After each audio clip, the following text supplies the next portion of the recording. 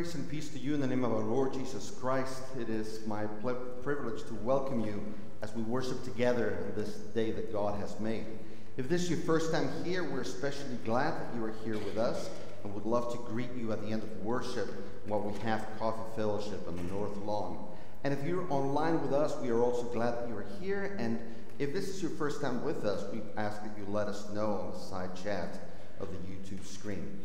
We have a couple of announcements to share with you today. The first one is an invitation to everyone. We have a presentation by Creatives Create today at 2 p.m. It is the spring reading event, and you can find more about it in the bulletin. And the second one is found in the back of your bulletin. It's a reminder that not only is this Pride Month, but we celebrate Pride Sunday on June 26th, and there's a lot more information about that coming soon. Today is Pentecost Sunday. It is known as the birthday of the church, the outpouring of the Holy Spirit, and we will celebrate communion. We are glad that God has gathered us together. Will the church, as you are able, please stand and join us in the call to worship? The Almighty breathes among us, calling us to gather in the name of the Holy One.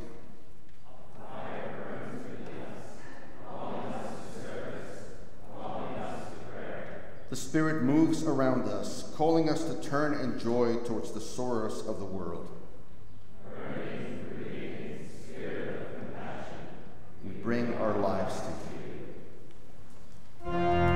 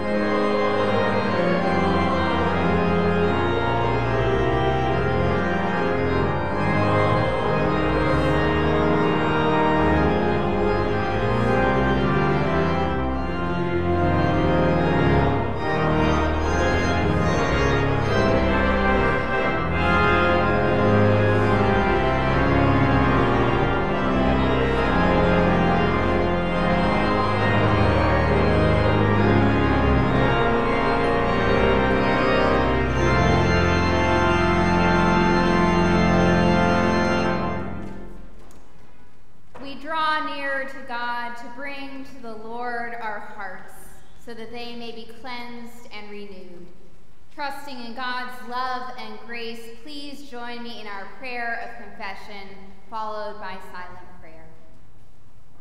Almighty God, you poured your Spirit upon gathered disciples, creating bold tongues, open ears, and a new community of faith. We confess that we hold back the force of your Spirit among us. We do not listen for your word of grace, speak the good news of your love, or live as a people made one in Christ. Have mercy on us, O God. Transform our timid lives by the power of your Spirit, and fill us with a flaming desire to be your beautiful people, doing your will for the sake of Jesus Christ our Lord.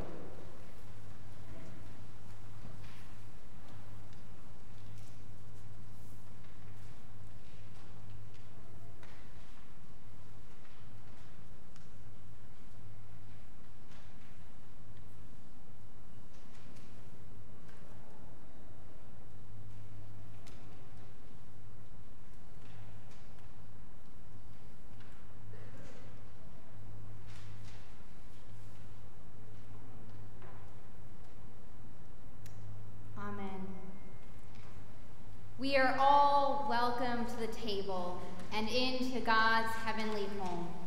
Regardless of who we are or what we do, we are assured that God always loves us, even and especially when we commit the sins which hurt God's heart. We know that we are deeply cared for, even when it feels as though that we are far away from the God who cherishes each and every one of us.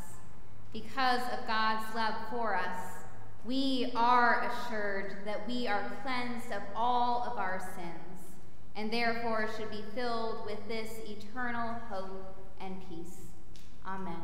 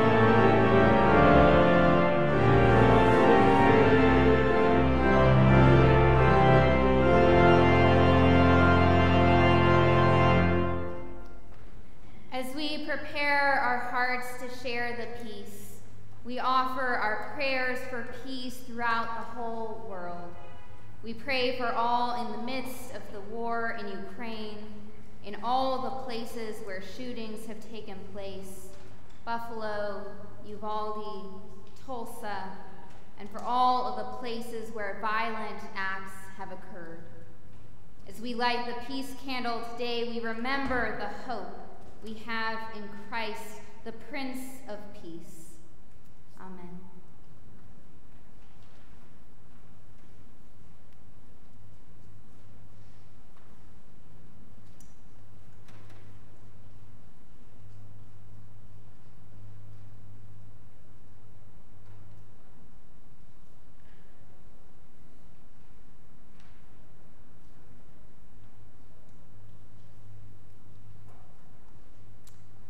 Friends, the peace that we receive from God is meant to be shared with all of those around us. For those here in the sanctuary, you may pass the peace to one another. And for those of us online, you may pass the peace in the YouTube comments. Friends, peace be with you and also with you. Please share a sign of peace.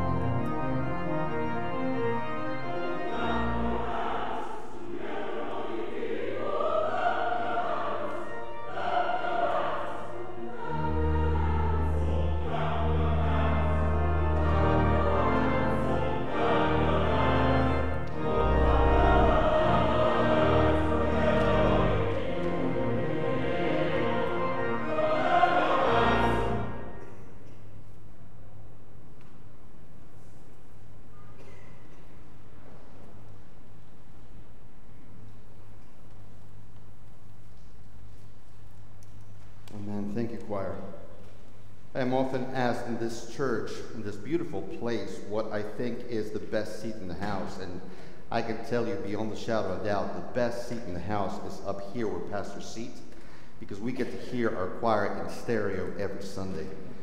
And that I consider to be one of the great, great joys in my life.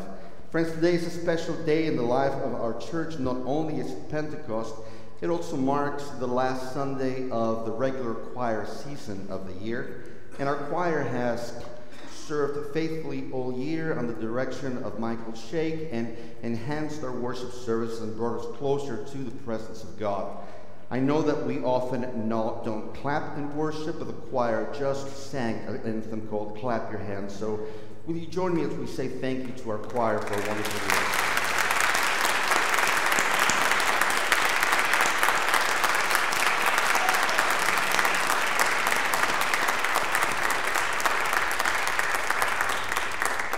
Thank you again, choir, and thank you, Michael, for your leadership. Today is Pentecost Sunday. The traditional reading for Pentecost is from Acts chapter 2. This year, however, we look at Acts chapter 10. It is the new Pentecost or the Gentile Pentecost in which the Spirit of God is doing a new thing, changing the world around us. And God knows that we need that today. So before we read God's word, let us pray. Gracious and Almighty God, we come before you once more in all humility, asking that you speak to us through your word as it is sung, read, prayed, and proclaimed. Open our hearts, our minds, our ears, and our hands to be able to serve you in this world that you put us in. And we pray now with anticipation that you pour upon us your gifts of preaching and understanding. We do so asking this in the strong name of Jesus the Christ. Amen. From Acts chapter 10, the first 19 verses, listen for God's word to you this morning. In Caesarea, there was a man named Cornelius, a centurion of the Italian cohort, as it was called. He was a devout man who feared God, and with all his household, he gave alms generously to the people and prayed constantly to God. One afternoon, about three o'clock, he had a vision in which he clearly saw an angel of God coming in and saying to him, Cornelius. Cornelius stared, stared at him in terror and said, What is it, Lord? He answered, Your prayers and your alms have ascended as a memorial before God. Now send men to Joppa for a certain Simon who is called Peter. He is lodging with Simon the tanner, whose house is by the seaside. When the angel who spoke to him had left, he called two of his servants and the devout soldier from the ranks of those who served him. And after telling them everything, he sent them to Joppa. About noon the next day, as they were on their journey approaching the city, Peter went up to the roof to pray. He became hungry and wanted something to eat, and while it was still being prepared, he fell into a trance. He saw the heaven opened and something like a large sheet coming down, being lowered by, to the ground by its four corners, and in it all kinds of four footed creatures and reptiles and birds of the air. Then he heard a voice saying, Get up, Peter, kill and eat. But Peter said, By no means, Lord, for I have never eaten anything that is profane or unclean. The voice said to him again a second time, What God has made clean, you must not call unclean. This happened three times, and the thing was suddenly taken into heaven.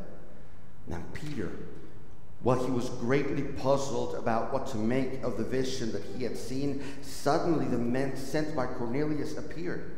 And they were asking for Simon's house, and they were standing by the gate. And they called out to ask whether Simon, who was called Peter, was staying there.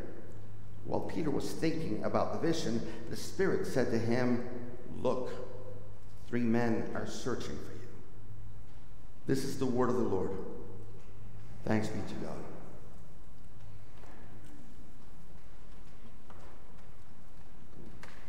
Title 21 Code of Federal Regulations, Part 110.110, allows the Food and Drug Administration, the FDA, to establish maximum levels of natural or unavoidable defects in food for human use.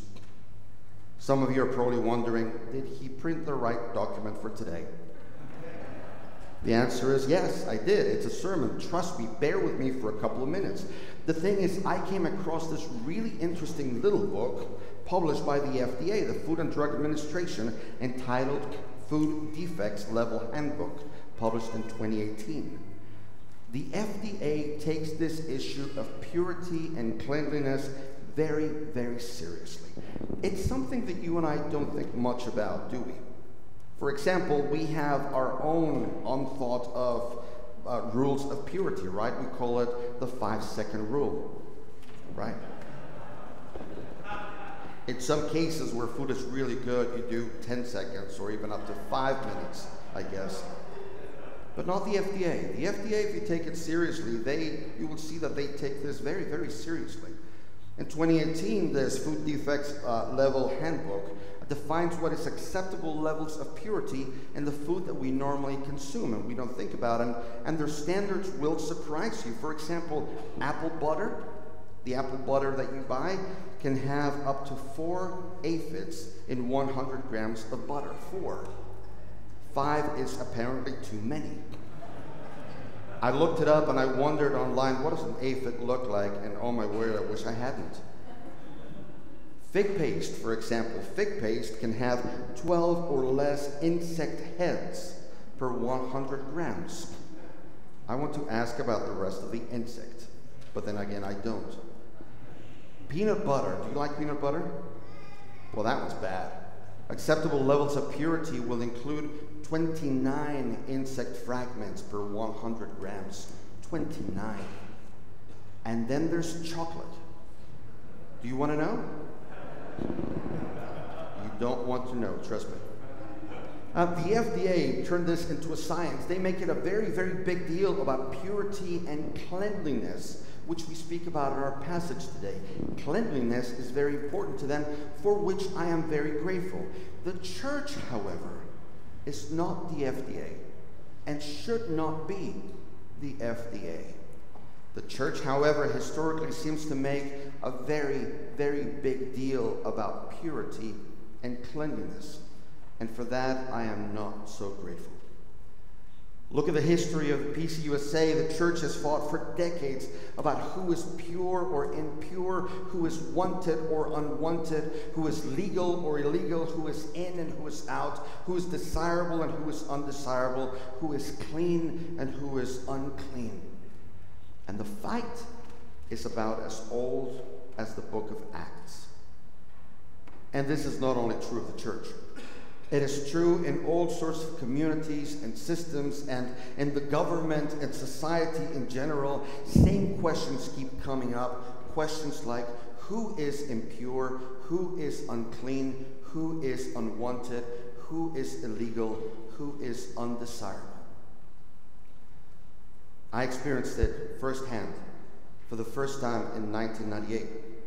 I moved to the United States in January, actually January 18, 1998, and at the, at the, risk of it sounding like a country song, I arrived with two suitcases and $200 in my pocket. And that was it.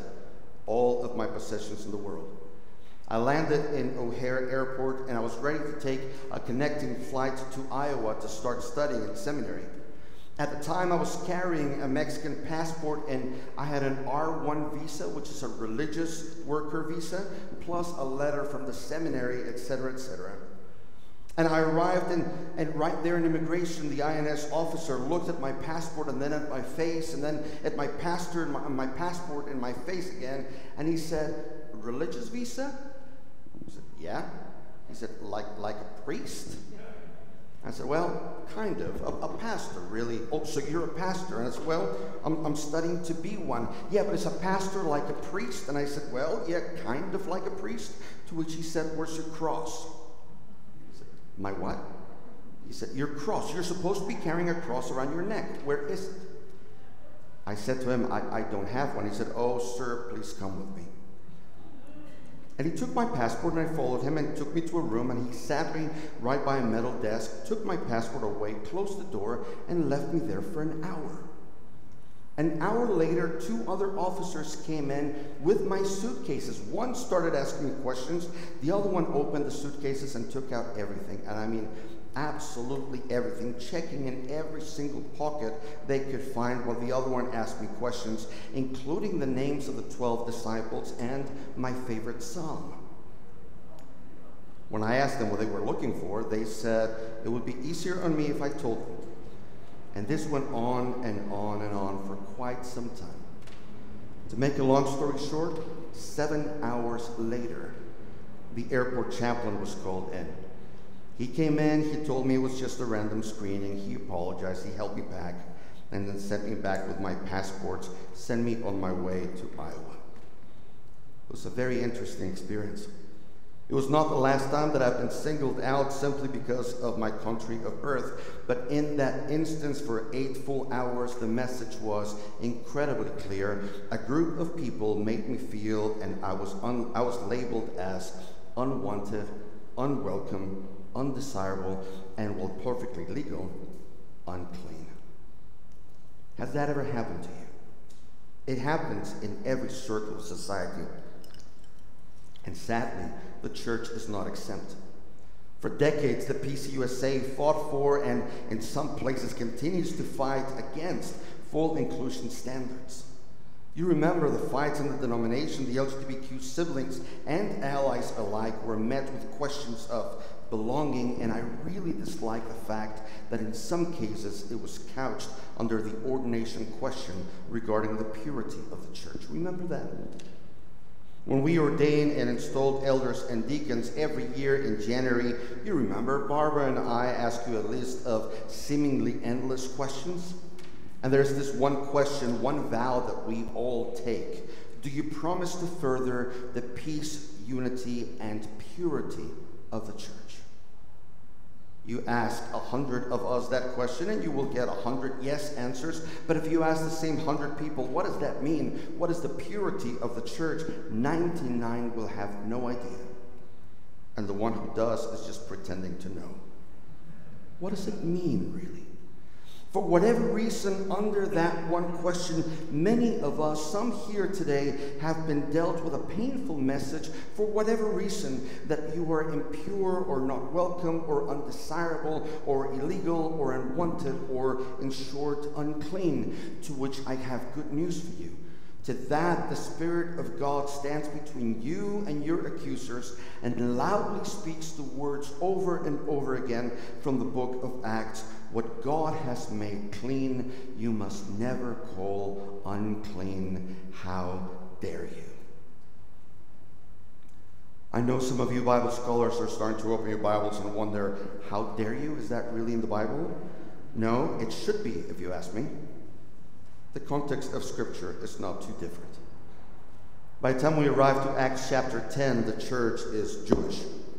Peter said not too long before this text the promise is for you and for your children and your children's children to a collection of Jews in Acts chapter 2, verse 39.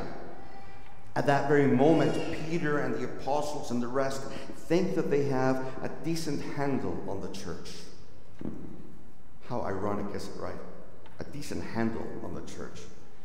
At the beginning of the book of Acts, they said, We have 11, Judas is no longer with us, we need 12 apostles, then we'll have good control of it all. Then they have 12, and, and then they said, okay, now we have 120 that are devoted to prayer. That's enough, right? And then the Spirit moves, and all of a sudden, at the end of Acts chapter 2, they have 3,000 devoted Jews hearing about the power of God, taking it all over the world. The explosive growing mo- movement called the church seems to be out of control, but at least, at least it was somewhat uniform.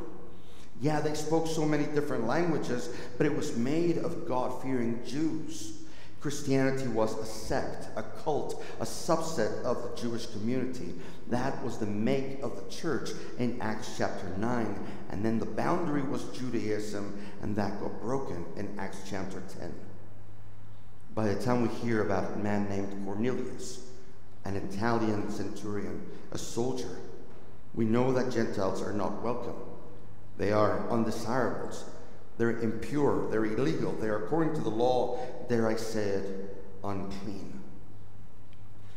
Until the day when a Jewish church leader named Peter, the Peter that you and I know, the one who walked with Jesus, who denied Jesus three times, who saw him right risen from the dead, who preached at Pentecost. Peter, this law abiding Jew who had never broken the Mosaic dietary laws, who had never eaten anything deemed unclean by the ancient writings, that Peter had a vision. He was staying in the home of Simon the tanner. Now, if you know anything about tanners, they are the ones who work the leather. Picture this in your mind. Simon the tanner in the house in Joppa by the sea, curing skin and hide and leather by the Mediterranean in hot, humid weather without air conditioner. Can you imagine what that smelled like? Right after that, you have Peter that is staying there and he is hungry. Food is being cooked downstairs. He smells the food and he smells the leather, and it's a very sensorial text. And in his hunger amidst strange and strong smells from downstairs, Peter has a vision or a hallucination or a divine revelation. Who knows? You saw it in Scripture. A large bed sheet that descends from heaven and it has all sorts of animals inside, all sorts of things that I would call delicacies to eat. And the Spirit is literally preparing lunch for Peter. And the Spirit says, Peter, kill and eat. Peter is observing the Mosaic law. He would never do it. And then there's the description of some of the animals. I went back to Leviticus to find out what Peter could not eat. And someone like me, the list sounds absolutely delicious. Here is a sample menu that Peter could simply not touch. For starters, you would have a shrimp cocktail or a plate of escargot. That would be followed by lobster bisque or marinated pork tacos. And for a main dish, you would have sausage and crab roll or seafood risotto. How does that sound? This is good stuff that is being provided, almost all of it prohibited by Old Testament law. Most of it was deemed, you guessed it, unclean. To which the Spirit says, Get up, Peter, kill and eat. Peter's reaction is admirable. He says, No, Lord, by no means. I have never eaten anything unclean. To which the voice of God speaks once more, saying, What God has made clean, you must never call unclean. After three times the food was wrapped up and taken into heaven. Three times. Peter apparently has to do penance with the number three. I love the sense of humor that applies in Scripture. What is this vision about? Is it really about food? Peter is sitting alone upstairs, confused, hungry, and dazed, trying to figure out what it means when the Spirit says, Look. Oh, that we would hear from the Spirit so directly. He says, Look, Peter. What Peter says, is it about the food, about the foods that are clean or unclean, what I can eat and not eat? No, Peter, think harder. What is it about then? The book of Acts in, in this chapter 10, where the Spirit says, Look, you have three men that have come looking for you. Three men that you'd normally consider to be unclean. Influential Roman soldier representatives, Gentiles, three ritually unclean military representatives of the same occupation as the ones who beat up and crucified Jesus. I sent the three of them says the Spirit, to look for you. They're asking for you to go over to Cornelius and tell them about Jesus. Why would you do that, Lord? Because I'm doing a new thing. But Lord, they're, they're soldiers, I know. They're Romans, I know. They're Gentiles, I know. They're unclean, to which the Spirit says, Don't, Peter. Just don't. Because those that God has made clean, you must never call unclean how dare you? Keep reading until the end of chapter 11. It makes for a fascinating read if you want to know the subversive and scandalous acts of God and church. In short, what we have is Peter decides to go with them. He has an encounter with Cornelius and his family and all the Gentiles in that area gather into one house. Peter preaches a half baked, really short sermon, and then the Spirit comes upon the Gentiles as the Spirit did upon the Jews in, in Acts chapter 2. And you have a conversion. People may ask, a conversion of Gentiles? No, not at all. That's a calling, a conversion of an apostle of Christ.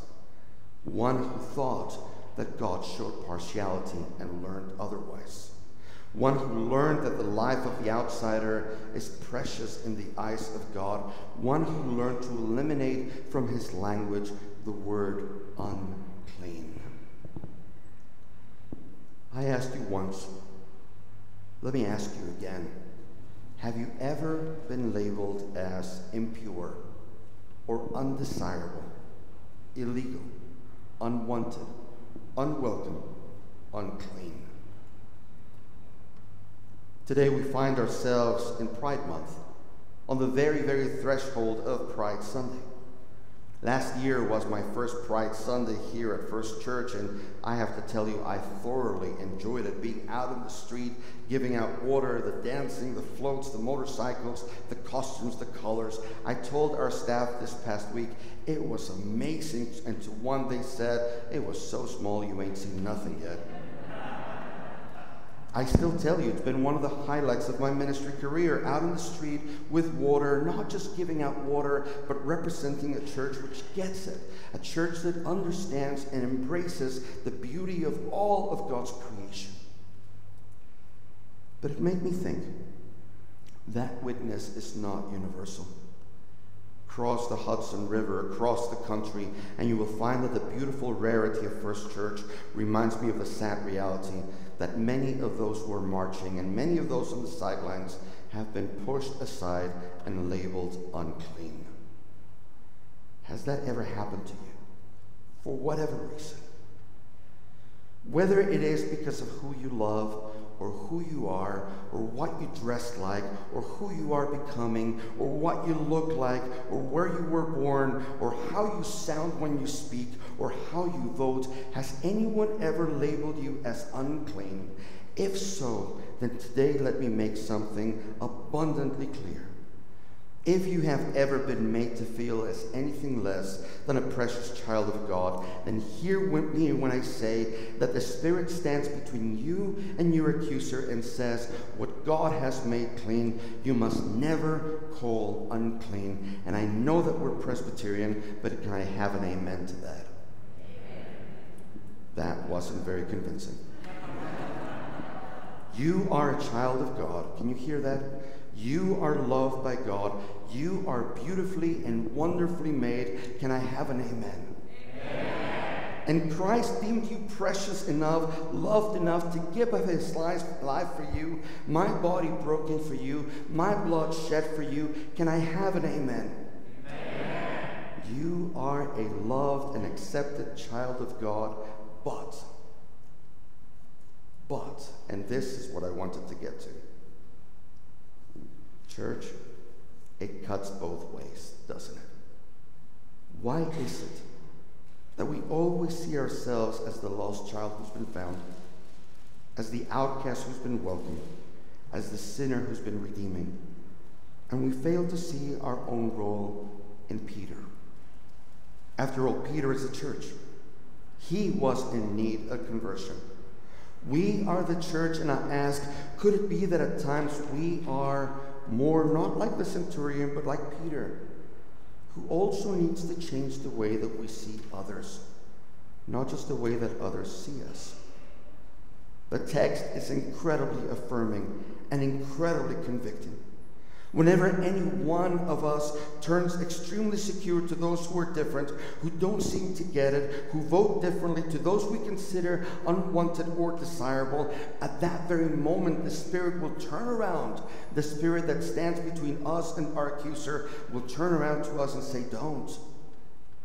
Because what God has made clean, you must never call unclean. And that's the beauty of church regardless of whether they look differently, dress differently, vote differently, see you differently, or embraced Scripture differently, what God has made clean, you must never, never call unclean.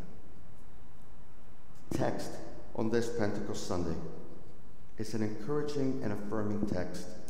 It is also a challenging text. The table of our Lord is the same. It's a dangerous place. It is not a place of uniformity.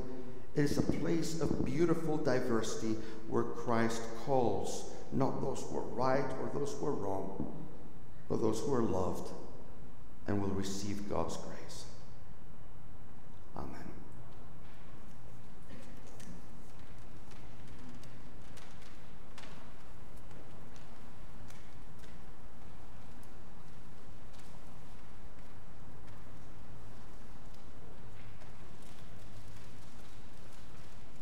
We affirm what we believe in so many ways in worship, in words, in prayer, in preaching, in actions.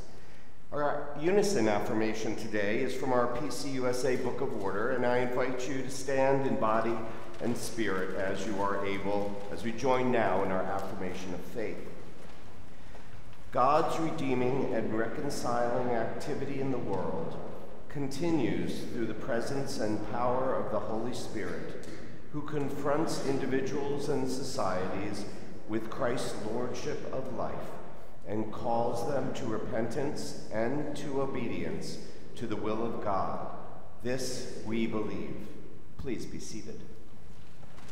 Pentecost people, we have received gifts too numerous to count now we have a chance to give in thanks and in joy your offering to enable this church to be a Pentecost presence in the community and in the world, to reach out in passionate commitment and bring the wind and the fire of the Spirit to a people and a world that so desperately needs it. You can make gifts online through the links on our website and on our stream uh, today, or mail them into the church, or just drop them in the box at the entrance to the sanctuary. Let us bring with joy our gifts to our God.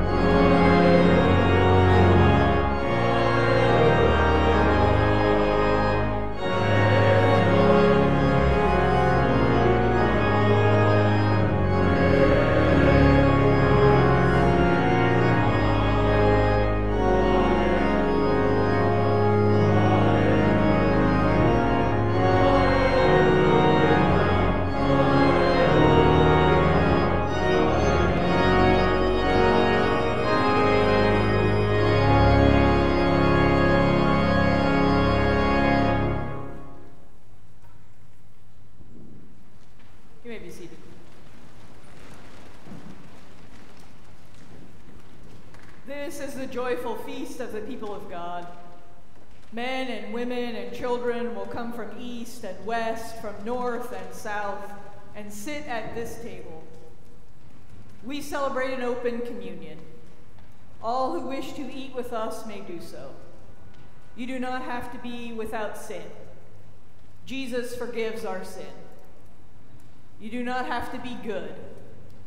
No one is good but God alone. You do not need to feel worthy. None of us comes here by our worthiness. It is enough if you want to love God and serve God with all of your heart. Let us pray. Almighty God, your desire called all of creation into being, and your breath has sustained us at every turning, but we have struggled to trust in your care. We have made the earth mourn. We have filled the seas with noise. What you have made as one, we have divided out of fear and selfishness.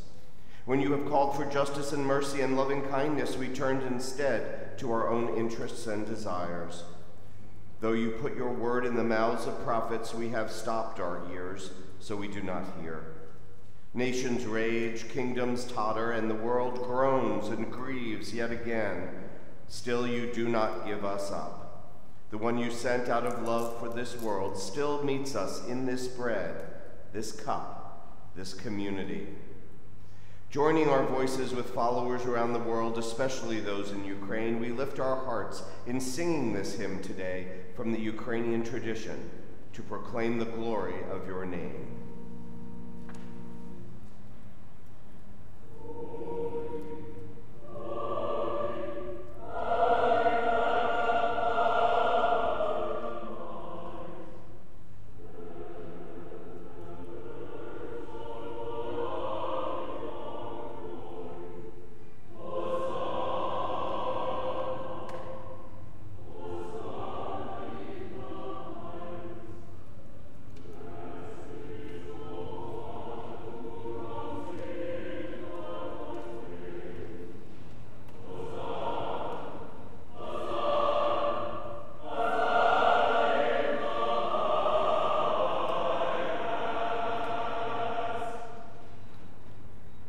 Jesus, your passion took flesh. Jesus taught us and healed us, gave us to each other and offered us peace. Even when we fled from, denied, and crucified Jesus, even then you were not done with us. The empty grave still dares us to hope that nothing can ever separate us from your love, that pain and grief and hatred will not have the final word. Holy Spirit, move among us now like you did with the first followers of Jesus. Breathe on us and set our hearts aflame with love for you and each other.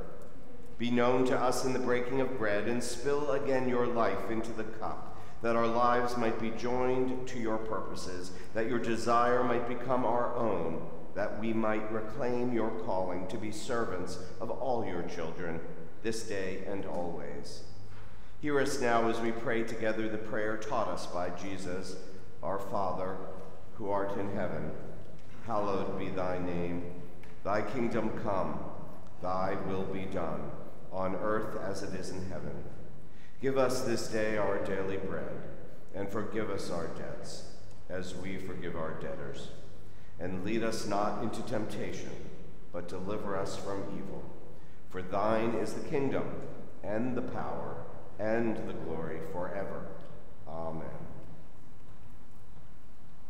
On that same night on which he was betrayed, when the principalities and powers conspired against him, Jesus gathered with his followers, and he took bread, and after he blessed it, he broke it.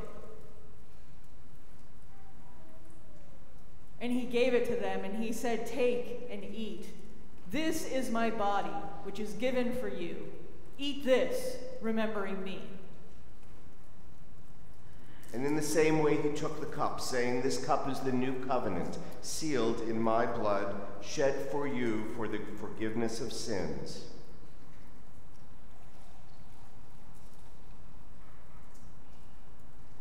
Whenever you drink it, do this in remembrance of me. And every time you eat the bread and drink this cup, you proclaim the coming of the Lord until he comes again.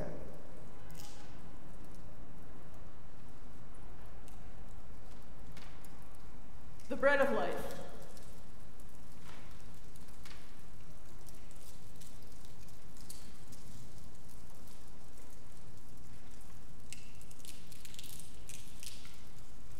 The cup of blessing.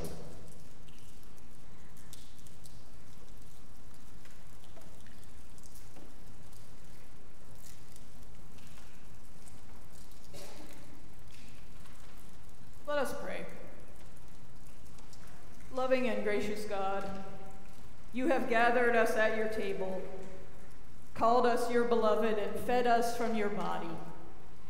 Transform us now to be your body in the world, to love and serve all your children.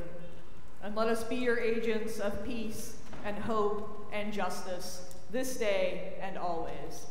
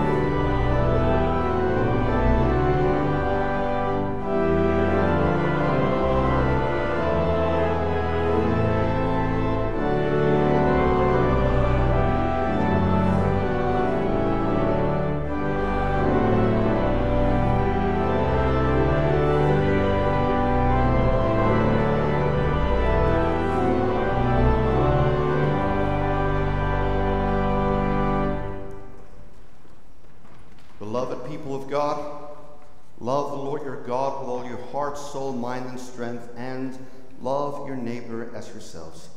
And as you do so, may the blessing of God, Father, Son, and Holy Spirit be with us now and forevermore. Amen.